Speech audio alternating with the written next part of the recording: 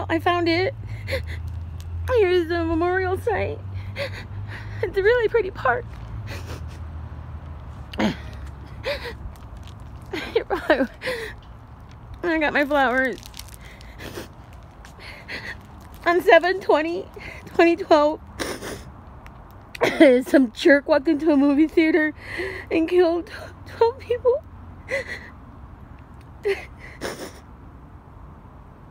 My heart. Uh, I, uh, I was one of the first responders. I actually was working the night this happened at University Hospital. You know, when you uh, work in a trauma one hospital, you uh, you get used to seeing blood and guts and death and trauma. But this this scarred me.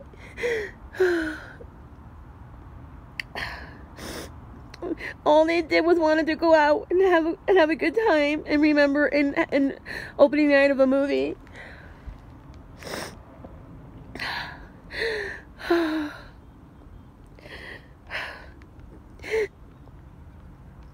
It breaks my heart to still know that there's those horrible stuff still happening in the world.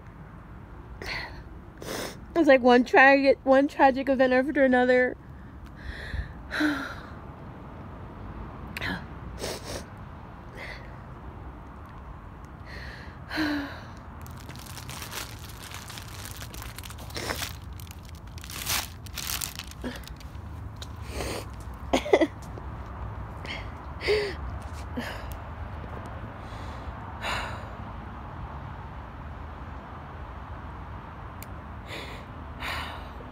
Twelve souls